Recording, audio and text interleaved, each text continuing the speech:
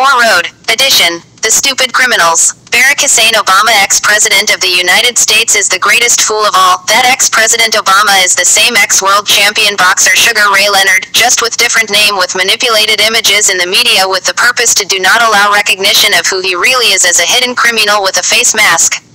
Sugar Obama no sugar but a thief and a murderer. Just as the ex-boxer, Mantequilla Napoles the assassin with crook police officers. Obama has no balls to be honest. Only thief in the night Obama loves to see man naked with hidden cameras.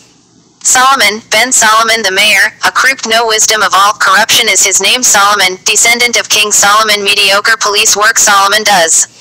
Mayor Solomon in charge of police, police receive calls of emergency, but police do not show at site needed. What a lazy Ben Solomon son of Solomon. A mayor a stupid mayor has been Ben Solomon. And the stupid of stupids is ex-president Barack Hussein Obama and Sugar Ray Leonard. May sound as joke but true. Ex-President Barack Hussein Obama, Sugar Ray Leonard and Mayor Ben Solomon are just as the famous ex-world champion of the International Box Federation, IBF.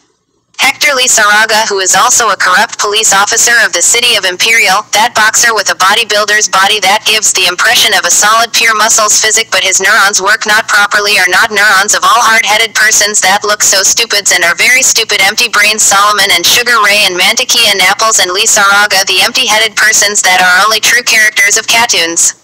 How stupid can be the reasoning of those famous names?